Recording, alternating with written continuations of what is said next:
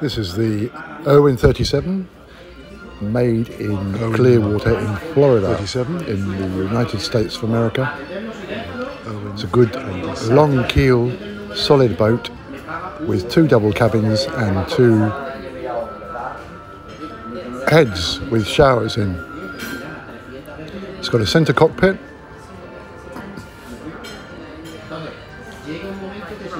A new fully battened mainsail. I've slept in it quite a few times in the south of Spain. Good hatch windows. It needs some TLC. The side windows, a lot of them are a bit broken and they could do with changing for steel ones. Here we have the centre cockpit. Plenty of storage back here for ropes and hose pipe and cables.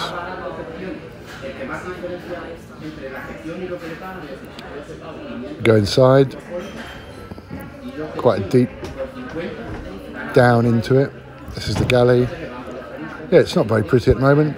It needs good clean and and looking after.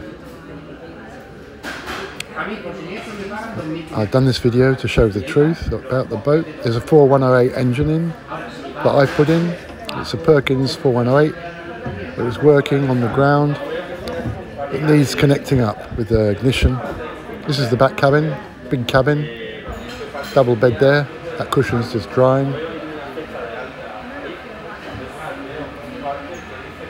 Probably the best thing about this boat is the strong keel. And we come back into the galley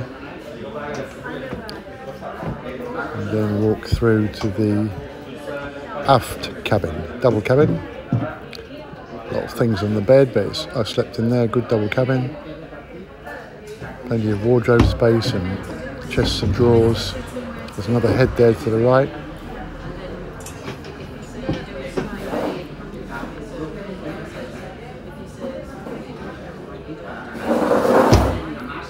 and then back into the galley.